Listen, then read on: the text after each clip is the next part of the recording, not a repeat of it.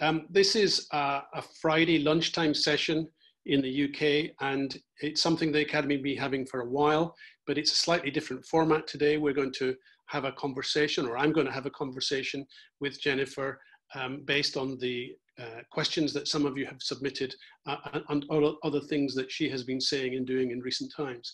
So I just wanted to say a warm welcome to everyone, wherever you're joining from. I know we've got people, I think, coming from um, Asia, probably from Bilbao. Uh, welcome to Rosina from uh, Brussels, and Wolf, I think, is joining us uh, from Freiburg uh, lots of the rest are coming from across the UK and Ireland. But if I've missed anyone out, uh, uh, please, please uh, a warm welcome and I hope you have a, an enjoyable session. Our guest today is Jennifer Keesmaat, who, as many of you know, is an honorary academician, uh, widely renowned, particularly for her period as Chief City Planner at the City of Toronto, but also for her bid as a candidate for Mayor of the City. She's currently Chief Exec of the Keesmaat Group, and we'll hear more about what she's been doing there. But I just wanted to say, um, warm welcome to you, Jennifer. I know it's earlier in the morning for you, um, how, how are things in Toronto? Mute, could demute? Good thing you asked that. Things are things are pretty good. That's great. Um, I just wanted to put the context for, for everyone. Some people will know you from your uh, visit to us in London or from Milton Keynes when you were made an honorary academician. But uh, you're, you're, you've built a growing reputation in Canada, not only in Toronto, but more widely as a communicator and an advocate for um, more livable places. And you're seen as a sort of powerful voice. Uh, we're going to talk a little bit later about the, the Declaration of Resilient Cities that you were involved in earlier in the year. But from our point of view, you sit very well with our um, range of honorary academicians, like Wulf Daseking from Freiburg and Christer Larsson from Malmo. Um, you've been an influential uh, planning director, like Tina Saaby from Copenhagen, you've decided to leave that post, that senior post, and, and seek other things, advise other people and other parties. But like George Ferguson of Bristol and Manuel Salgado of Lisbon, you've entered the fray as an urbanist in, in the political world. Um, and that's uh, very combative like many of the others that we've got, Jan Gehl, Alan Baxter, John Worthington, and our, our um, uh, chair, John Thompson, you've also been advising people not only in your own country, but around the world um, in, in many different countries. So we're interested to hear what you're doing, but also as we work through today, what your thoughts are from the current sort of COVID-19 situation and looking to the future. But before we start, I, think uh, our, our audience would be quite interested to know how you got started. How did you get into this? Because as I understand it, uh, this wasn't your first degree topic. Uh, you, you came into it. So how, how did you get into this field of, of work and, and uh, who inspired you or led you in that direction? Well, thank you, Kevin. Um, the the story that I think we're going to hear over the course of the next hour is going to wind in a variety of different ways. Uh, but it might come full circle because you've started in this place. I was a graduate from the University of Western Ontario with a combined honors degree in English and philosophy. And I realized I really needed to get my hands dirty. And I wanted to be engaged in the world around me and shaping the world around me. I'd had enough of philosophy for a little bit. But ironically, of course, um, I've spent the rest of my career looking for urban planners with philosophy degrees as a background because I think that um, it's excellent training because at its essence, urbanism and urban planning is about how we manifest our values in the world. And so when I had graduated, I became in, involved in some advocacy work in Vancouver, where I was living at the time, around building affordable housing. And in particular, there was a neighborhood with an old warehouse that was about to be gentrified by a condo developer, and there were squatters in the warehouse. And the question was, where will these squatters go? And I was involved, it was my very first act of community organizing. And I was involved in what eventually led to uh, the stopping of the condo development, the purchasing of the land by the city, and the city putting out the land into a bidding process to create mixed use housing that included social housing and affordable housing as part of the overall development. And that's built today. It's called the Woodwards Project or the Woodwards Development. But what that did was it, um, I wasn't a planner. I knew nothing about planning at this time. What it did was realize what, what was it, it helped me realize that through our actions, we can fundamentally transform the world around us. And at that time, someone said to me, um, are, are you are you an urban planner? And I literally um, stared back and said, "What's an urban planner?" I, I had no idea. And so I, you know, I I went off and read Jane Jacobs, went to planning school, and uh, as they say, the rest is history.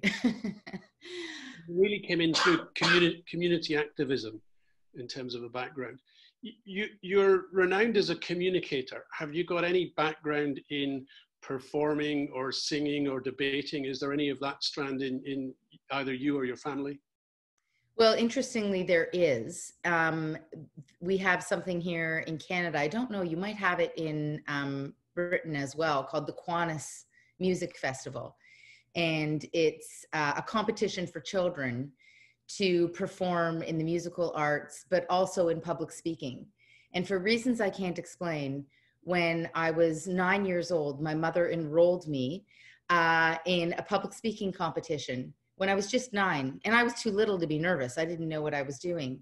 And uh, from that point on, over the next several years, I participated in public speaking, um, reciting prose competitions. And what's so interesting about it is it ended up laying a foundation for speaking to the public and speaking to, to the audience to audiences um, and to really realizing again i think as a very small child that the things we say and our words and the way we communicate them can actually change people's hearts and minds and so i saw the power in that and that inspired me to um, continue to be involved and I, I obviously had somewhat of an aptitude for it so i wasn't really afraid of it um, you know, my great claim to fame is that I never get nervous. Although when I ran for mayor, I was incredibly nervous.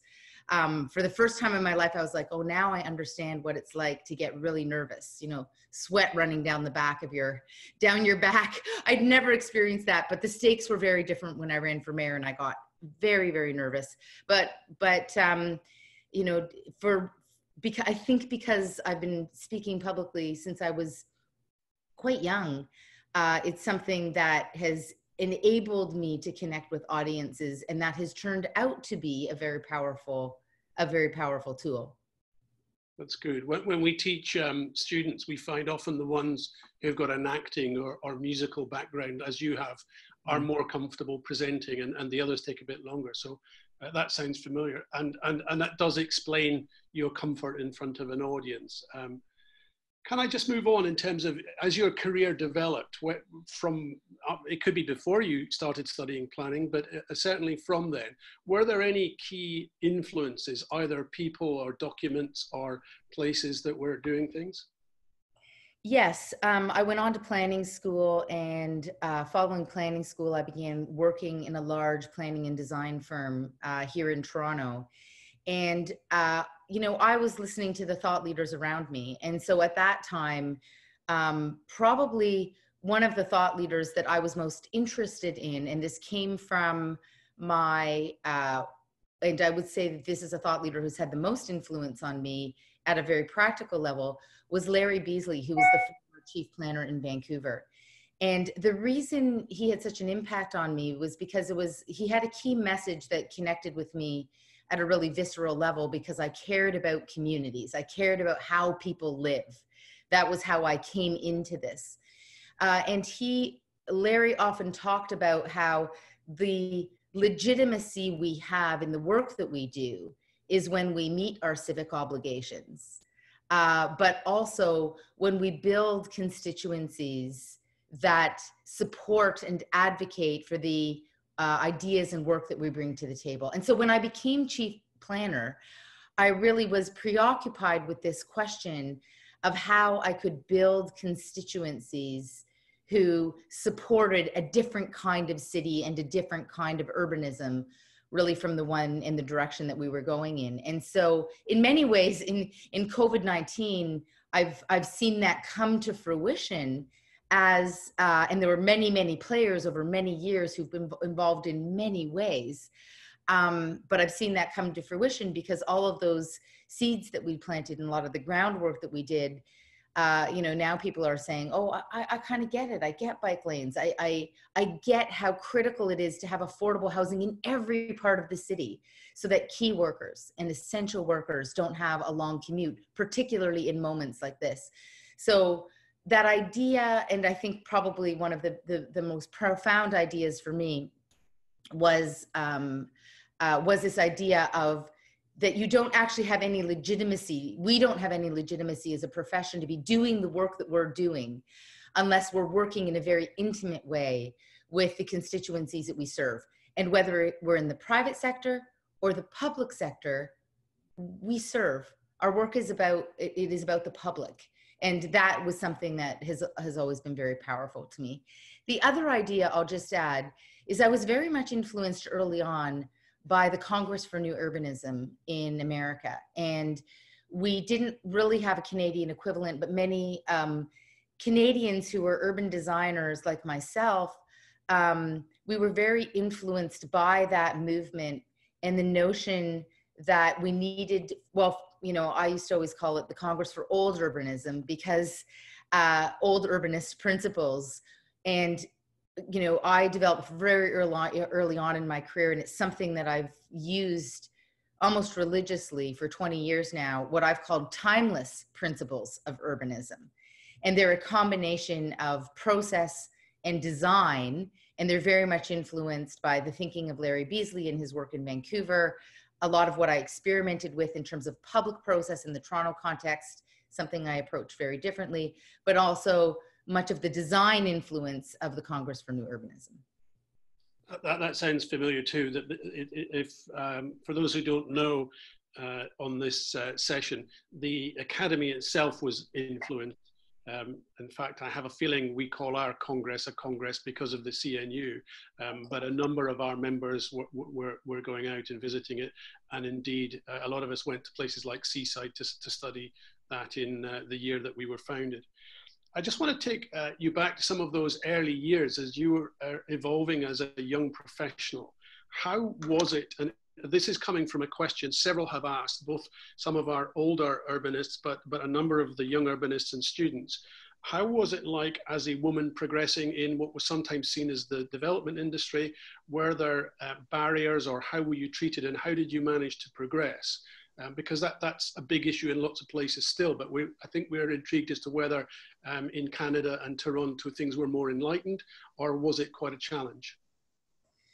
Well, you know, I can't really give a comparative analysis because I only have my own experience. But um, I was raised up in a male profession with, you know, men were my mentors um, other than Jane Jacobs, who must be mentioned because she had a profound influence on my contrarian thinking, I would say. Um, and like many women of my age, I can probably tell you a lot of horror stories of things that happened to me and um, experiences I had in the professional context that, without a doubt, we know are deeply unacceptable and inappropriate. But, you know, kind of strangely, um, I knew that I was pioneering. And, you know, for better or worse, I knew, well, if I'm going to get something done and have an impact, I'm going to have to stick my elbows out and just work really hard. And so I did that. I stuck my elbows out. I worked really hard. I created a very distinct philosophy around working with other women in my profession because um, it wasn't always other women, whether it was architects or planners, who were very kind to me. That wasn't that wasn't the case. So I created a counter philosophy, which I talked about a lot when I was chief planner. I was the first woman chief planner in the city of Toronto, and I inherited a team of nine directors who were all men.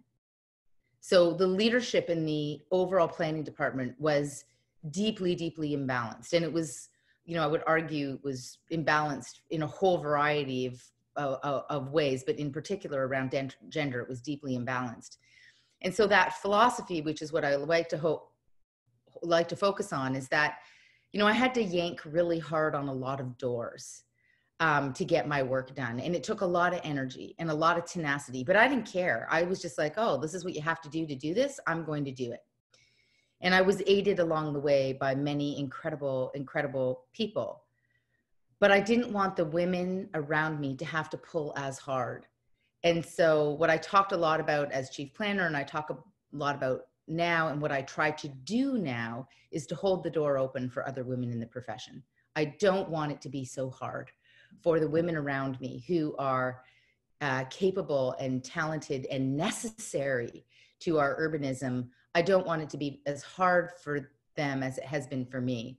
And so I talk about this idea a lot because I think um, it's something that men and women um, need to think about is the way that they're holding the door open for others around them who for a variety of reasons, whether it's systemic racism or whether it's a background that has made them disadvantaged or or it's their uh, their gender uh, that we need to become conscious of holding the door open for one another within our profession so that we can get uh, more people thriving and contributing.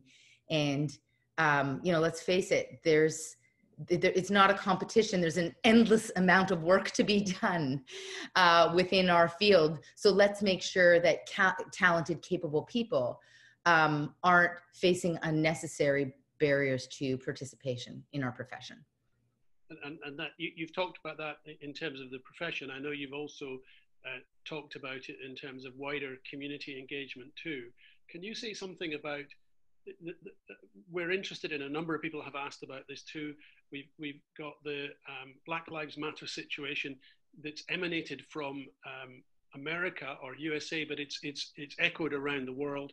You have diverse ethnic populations in Toronto.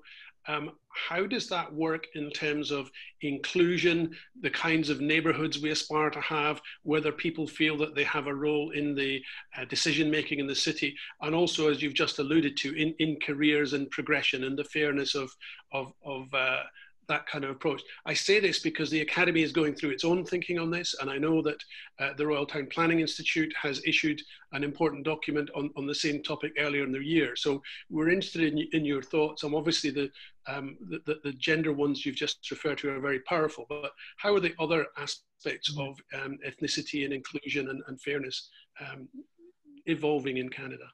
Mm-hmm. So the first thing I'll say is that um, you know, I, I think our profession and um, Torontonians have been deeply affected and impacted to see our world in a different way as a result of Black Lives Matter. Um, we've been having a rigorous debate here about the role of the police and defunding the police. Um, and it's a critical, necessary conversation.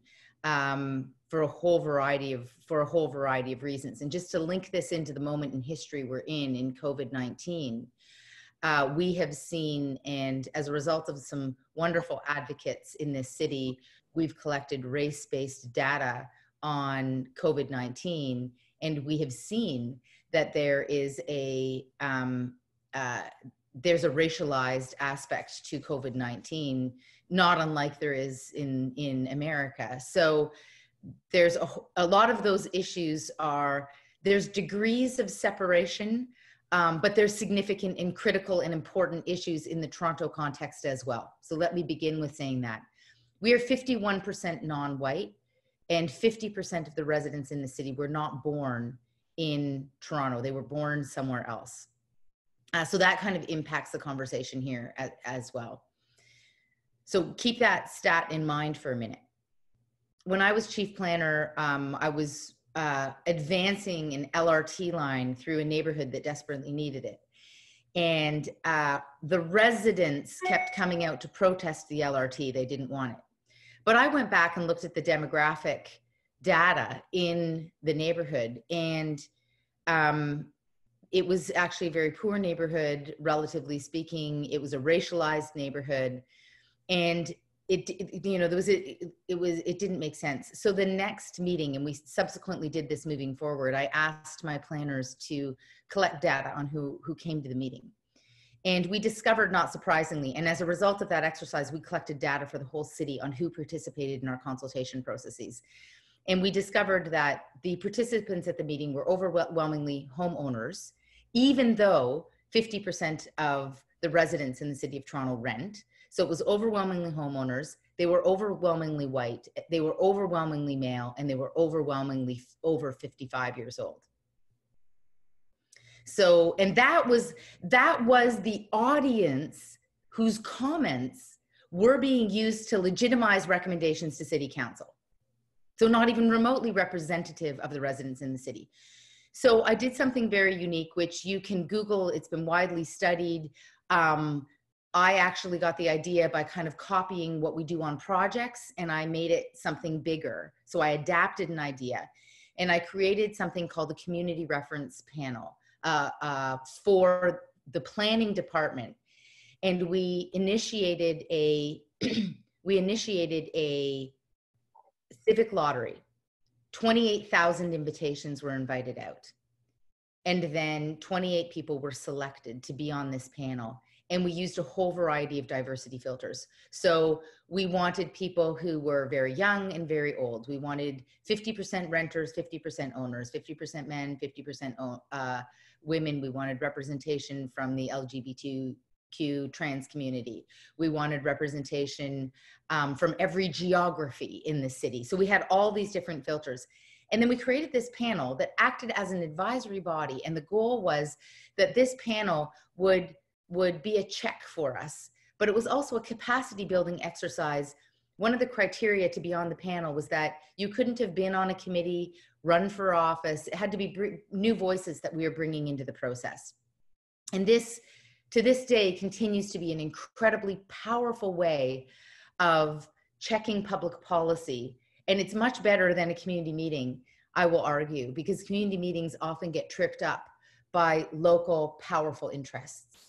And this committee isn't local and it has a different kind of power, but not the power you see, the kind of power dynamics that play out at the, lo- at the local level.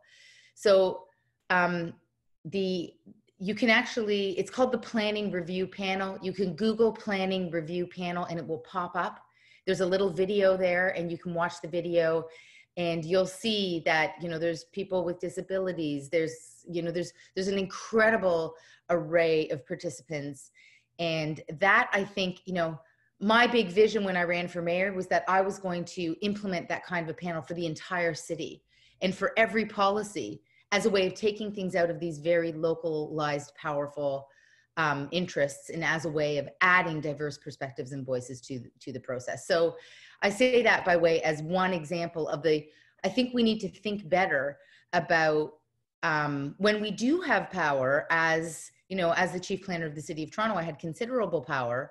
Um, council didn't directly implement that. Um, but to ask this question as to how we can have a process that better represents the interests of the entire city um, and I think, you know, if we govern that way, it, it could be transformative. I think it, it, it sounds familiar, and uh, I recall some on the on this session may remember Sheffield was one city that had a similar process. Um, I think a hundred people they took, and as you said, it was about all of policy. It wasn't just about planning, and it, it was for the whole city. Um, and they were quite a pretty daunting group to go in front of, which, which we had to do a couple of times because they knew their own city better than anyone else. Exactly. And we did, um, what we did with the group was in the beginning, we did several days of capacity building around helping them understand decision making. We gave them like a civics 101 course at the beginning.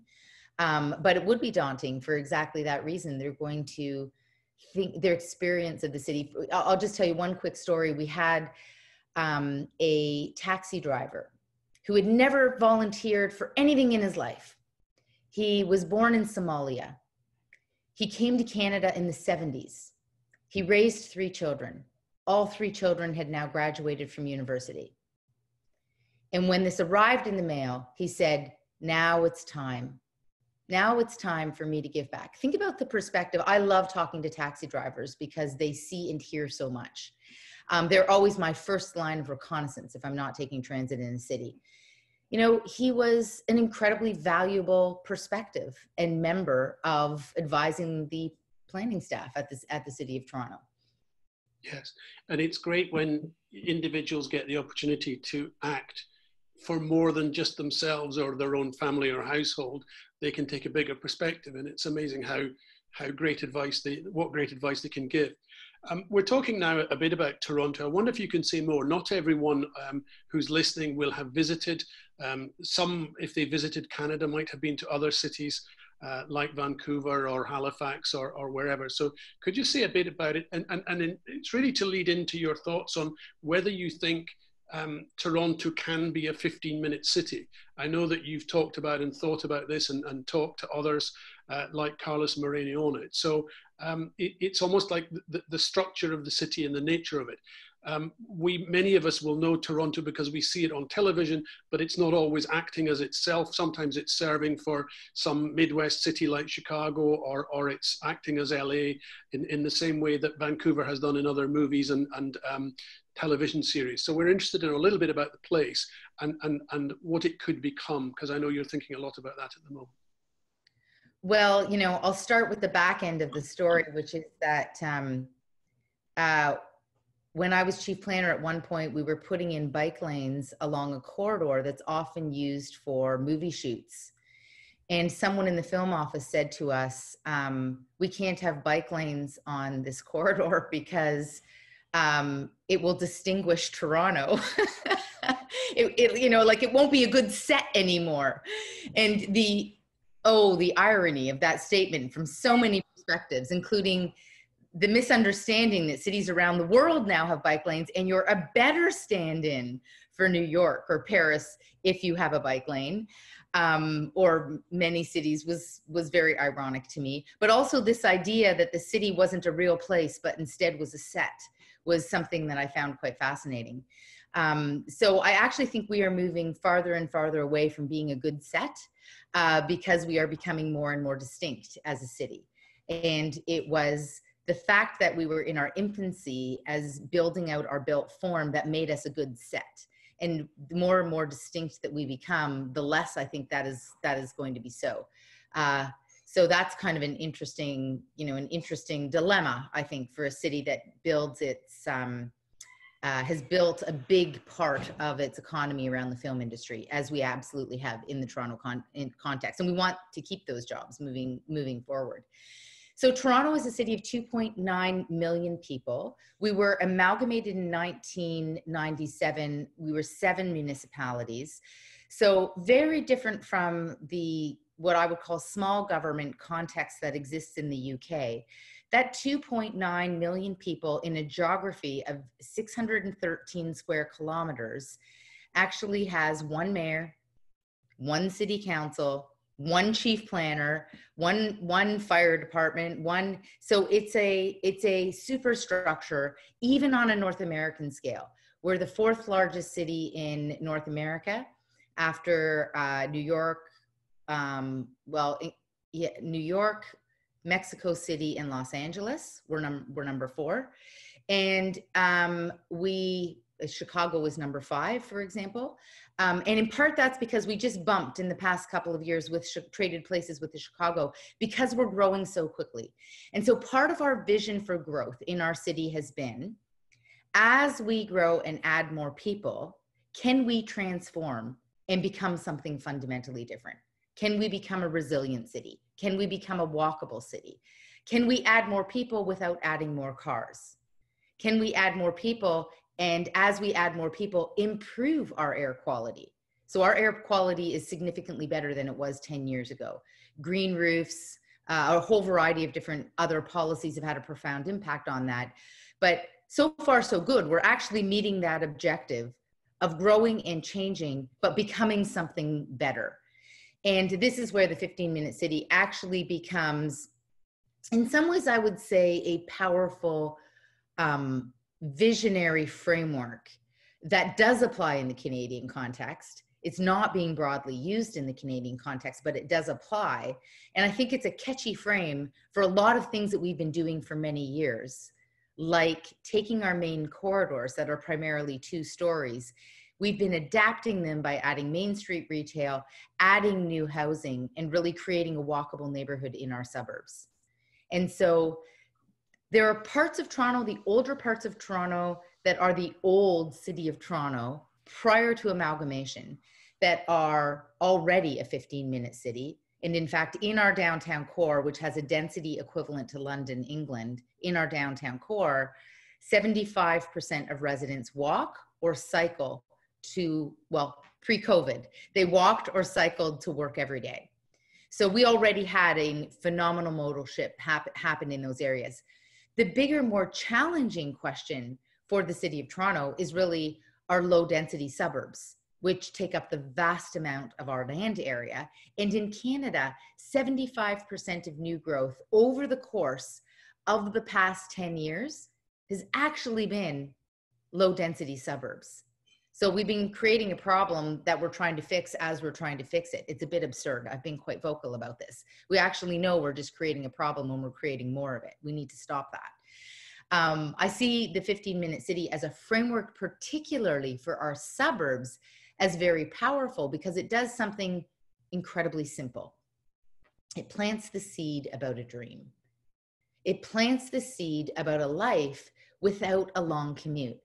And inherent to life in our suburbs today is a long commute.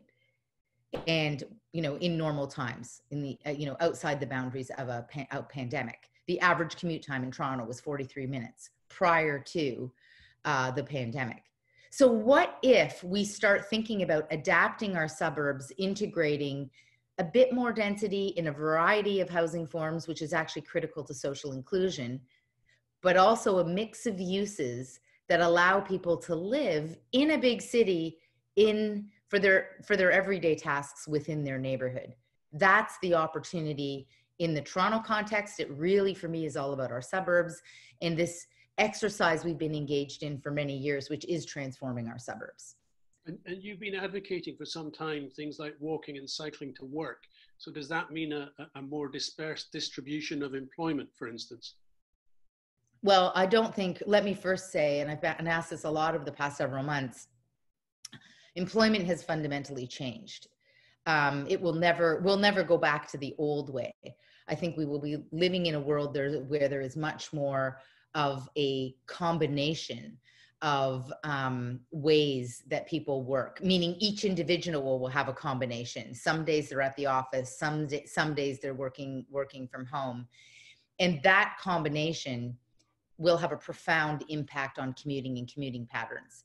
Because you know even building we're building a multi-billion dollar subway that was going to shift and add only 10% capacity. Well es- estimates right now are that more than 10% of people will not go back to work full time or will be working in odd hours. So if you think about it from the kind of infrastructure we need that's a profound implication on what happens during rush hour. Like rush hour fundamentally changes when you have even just a small change in the way in the way people work. Uh, but yes, yesterday um, yesterday it was revealed that one of the big banks in Canada is actually looking at creating nodal like WeWork type spaces in communities across Canada on a very small scale. So these aren't really offices at all. They're like storefronts where 20 people can come work all over uh, the country in order to enable people to be able to sometimes work from home, sometimes work from this this small office. Um, so I think you know there's a, we're in a moment of a great transition that opens up significant opportunities to lower and mitigate our environmental footprint to some extent we're, we're talking about this in terms of transit and, and travel and, and carbon are there other sort of health and, and well-being uh, benefits or issues arising from this? And are you seeing any of that in the current situation across Toronto?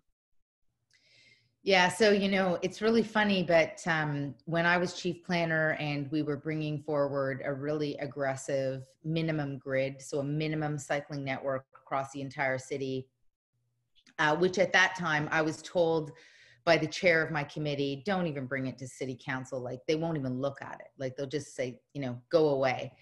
Well now we're in the process of expediting the building of what's be starting to become an uh, uh, a complex cycling network across the entire city.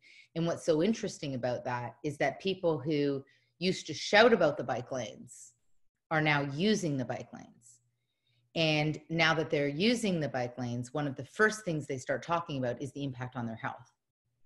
And, you know, there's a CEO of a large development company in Toronto who I did a session with uh, on the 2020 declaration, which I think we'll get to. I did a session with him on the 2020 declaration because they wanted to think about the impact of the 2020 declaration as a private sector developer, how they should be building buildings differently. You know, and they're building, you know, thousands and thousands of units. And in that, I talked about cycling and cycling infrastructure, and they did two very interesting things after the session. They now give um, they now give bikes with all their condo purchases. Um, they now have have um, bike parking for all condo units have bike parking associated with them which before there was just kind of a clump of bike spots but now they've like they've taken the bike parking having a bike repair room in the building. They're taking all that much more seriously. But the part of the story i love best is that uh, about six weeks after we did the session he said he emailed me and said after our session i went out the next day and i bought myself a bike. You know this is a guy who probably drives like a fancy tesla. Um, and he said i've lost weight i'm healthier and i'm happier than i've been in years. It's it's changing my life and so i think that you know it's a very personal thing but we know that the health benefits the impact on our air quality at a meta level but the impact on our individual health um, at a very, very specific level are un- uncontested. So moving towards that is how we drive our design our cities is just so uh, it's a phenomenal shift we're seeing. If we pick up the declaration, which you were involved in initiating and, and getting out um, almost immediately after the, the COVID lockdown situation, can you say a bit about it? Who signed up? And, and really linking to what we're saying now is are there prospects for embedding this shift in expectations and behavior, or is there a risk that things will default back to how they were before? So I'll start by saying that one of the really big reasons why the declaration exists actually has to do with transit, because we immediately um, saw when we went into lockdown, no one was using public transit. And uh, there were a lot of questions. And in the Canadian context, our transit system is very much a user pay system. So when you pay your fare, you're actually paying for the system to operate. So you can imagine in lockdown, when 70% of your users disappear, the service had to go down. And when the service levels started going down, there was a big debate in the city, and people started saying, and this has absolutely happened for the first time in my life, I'm going to go out and buy a car and seeing that seeing those links being made and leading to so i better go buy a car basically was explosive um, for many of us in our industry and myself. Um, and we realized that there was a fork in the road that was emerging and we could we needed to choose a trajectory as a result of covid-19 and one trajectory was disastrous for our planet and another trajectory um, was good for our planet. One tra- trajectory was disastrous for social inclusion and another tra- trajectory would be good for social inclusion. And so the in many ways realizing that there was a fork in the road um, inspired uh, myself and some colleagues in my team. We wrote the declaration with 20 specific actions. We circulated it amongst a whole series of thought leaders um, refined it and then shopped it. And of course we wanted the biggest signatures we could possibly get on it and we wanted those signatures to come from a diversity of uh, places public health officials professionals developers. We have five of the largest developers in the country signed the 2020 declaration. That's something. Their their colleagues have taken note that they're making a commitment to actually be a part of climate resilience. Uh, we had um, every former mayor of the city of Toronto signed the declaration, and importantly, David Miller, who is now the head of C40 Cities. Um, and C40 Cities subsequently came out with a not dissimilar document about just a just and green recovery. And it's in the same they came with out with that probably three or four months after after we released the declaration but in that same trajectory of justice and climate being a part of of recovery and infrastructure infrastructure spending we have several former uh, premiers uh, including um, mike harcourt who was the mayor of vancouver but also the premier of british columbia he signed the declaration um, we have many academics, leading academics. Richard Florida signed the signed the declaration. So the goal was actually to get some names that had some heft, that would give some legitimacy to these 20 actions, and uh, and we wanted it to happen early because we were worried that we were losing the narrative on how a recovery should happen and what to do in light of a, a pandemic. People were saying this is the end of cities and I was saying, no way. We have to go deeper into our urbanism. Our urbanism needs to be walkable and inclusive. We need to go deeper. We need to upend single family zoning and ensure that we have neighborhoods where everyone uh, can can can live together. So that was really the driver behind creating the declaration is recognizing that we were, you know, this goes back to my philosophy background. We were in a fight uh, for the hearts and minds of our political leaders in how they responded to this pandemic in a moment where a lot of people were scared instead of hopeful. And the declaration is about being hopeful, about being able to impact the world around us. Can I pick up that thread of influence and leadership? Um, uh, we're going to pick up on, on your own mayoral bid, but um, some of the occasions that, that people who will be watching and listening will have come across Toronto uh, was in the, the period of Rob Ford. And I just wondered if you could say what it was like working in that context and then lead into how you made the decision to, to run um, for mayor yourself. So um, I was the uh, a partner in one of the largest planning, design, engineering, and architecture firms that I founded in Canada when I was recruited to the job of chief planner in the city of Toronto. And Rob Ford was mayor. And one of the reasons, among several, that I took the job um, including the fact that I had written a letter and said this is why I would be bad for the job because I think I think the job needs to be done in a very different way. And part of what I talked about was exactly this about building constituencies for change. Um, and when you know when the leaders and uh, you know my hat goes off to Peter Milczyn, who was the chair, a city councilor who was the chair of planning and growth.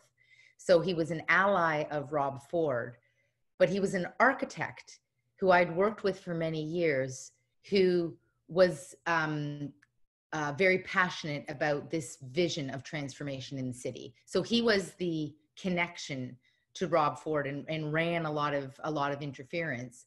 But one of the reasons why I took the job and I quickly created a blog called Own Your City was because during that time period, many of us felt like our city was slipping away from us. Rob Ford wanted to get rid of our streetcars which was mind numbing. There were a lot of things that he was proposing. There was a, a, really divisive rhetoric in the city at that time, a them and us rhetoric. He actually removed bike lanes in the city. He was taking us um, in the wrong direction. And so when I be, took on the role of chief planner, in some ways it was me taking a bit of my own medicine and saying, you know what?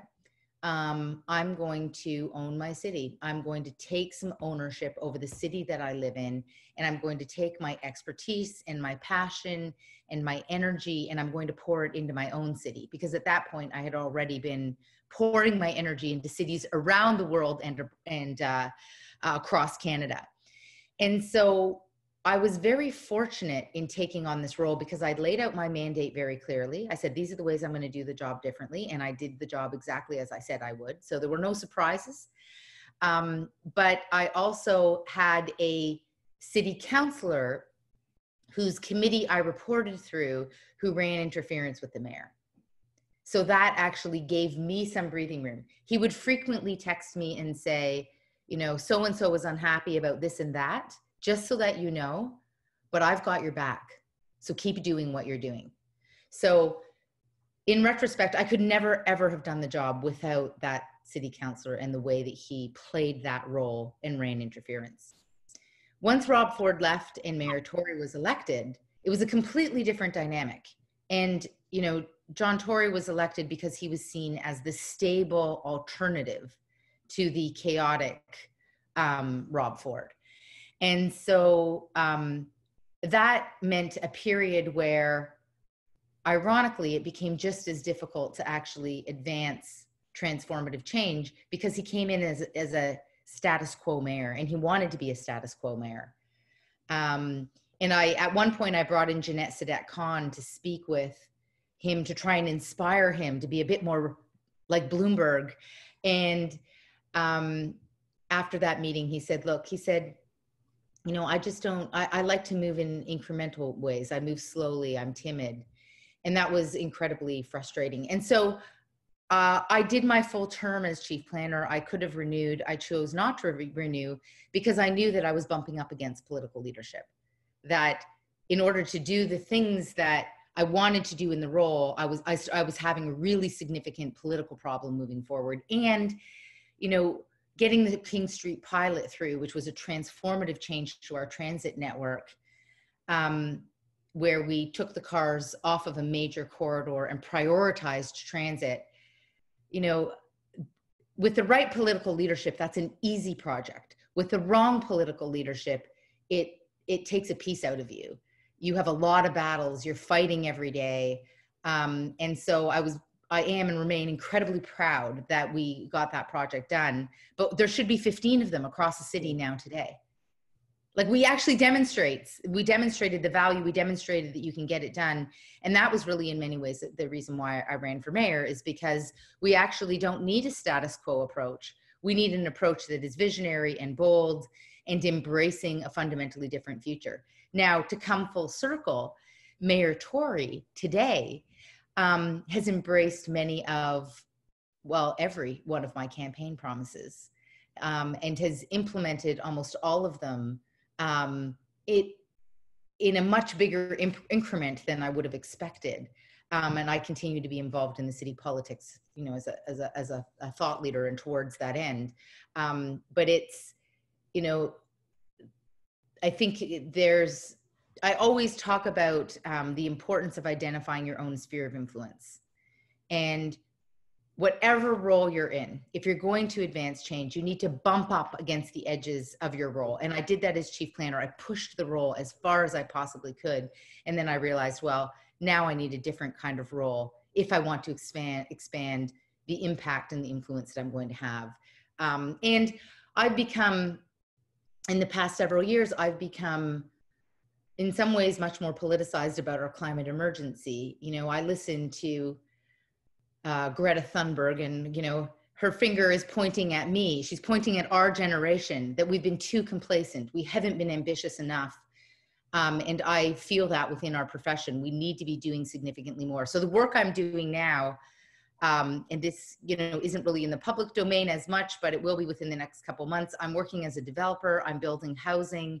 It's affordable housing, but it's also our first project will be carbon neutral. Um, so bringing together a whole variety of city building objectives to push the way we think about development in society and change um, needs to be where our, our thinking is at within our profession today. So, so you're you're still influencing a lot of the time by doing as well as advocating.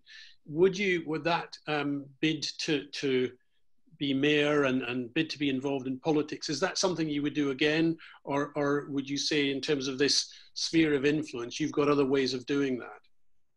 Well, this is what I would say. So, running for politics is a deeply personal, personal decision, and um, I am the first one to advocate that more professionals need to run for politics. Um, we need people who actually have been in the trenches, building and designing and working with communities at the grassroots in politics in, in in in at the community level in in politics. Um, and that frequently doesn't happen. If we look at political leadership um, all over the world but definitely in the canadian context um, we have a lot of lifers in politics. People who set their aspiration not as their aspiration isn't something some ideal. Their aspiration is to be a politician and being a politician is not an end. being a politician is a way to achieve certain kinds of change. And I would say we have a crisis of politics because there are too many players that are in politics to be a politician. Um, so I was never, the, the challenge that I have is that what I care about is the outcome. I care about changing the world around me. I care about, uh, and it's for me, it's about being hopeful in a world where there's a lot to feel hopeless about. To me, it's about being an actor in whatever small way or big way in advancing transformative change. And so for me, I'm not ideological about being a politician as being the best way to do that. I think there's lots of ways to do that. Um, and tons of different players at different levels. And I think for some people, being on a planning review panel is really powerful. Um, and so for me, I've had to go through, I didn't know when I ran for office um, what the best place is for me to do this.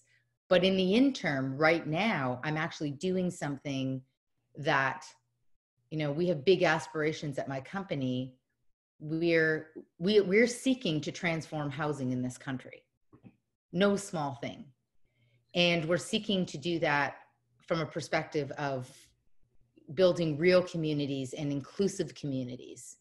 Um, we've created a fundamentally different model for building affordable housing and deeply affordable housing to deliver that. So I'm in deep in what I'm doing right now. Will I run again at some point in the future? I don't know, but I feel right now that I'm in a space where I can achieve those outcomes. I definitely won't run in the near future because I'm deep in what I'm doing right now it feels like you've gone full circle back to the heart of community activism where it all started. Um, that it feels a comfortable space for you. Well, in some ways, except now I'm doing it um, not as an activist, but as a professional with an expertise in planning and development. And I'm using that, I'm using that expertise to uh, you know, basically my partner and I, when we created our company, which will be launched in the next several weeks, because we're launching it when we announce our first project. Uh, when we created it, we asked the question, is there a way to use the best of private sector expertise and private capital to deliver at scale a transformative public good? And that's what we've, that's what we've been focused on. Thanks, Jennifer. It, it, sounds like something we should look out for um, when that comes out. Um, you're very active, you're very animated, you've been very busy for years. Um, some people have asked is what you do in your spare time to relax or indeed where you go to or, or you know, uh, either virtual or, or real. I mean, are there real places like, that you like to visit for leisure? Are you a kind of a 24 urbanist who doesn't stop? So, you know, I actually got called out by this uh, by a friend a few days ago who said to me, um, "What are your hobbies?" And um, and it was funny because I would say my hobbies, you know, everything always goes full circle because my hobbies are things like my podcast, Invisible City, and Within Reach, but they're about cities, so they're not allowed to be my hobbies, but they are because I love them, and I, you know, I find them to be you know they are the thing i do for fun. Um, but i love i love seeing and touring cities and places for fun. That's my hobby. Um, but i'll give you a, a little known fact. Um, i'm in nature and you know I, I love being in nature. So we are very blessed in the canadian context in, in toronto. We have a phenomenal ravine system 17 kilometers 17 percent of our land area in Toronto is ravines. And when you're in the ravine, you feel like you're in the deep woods.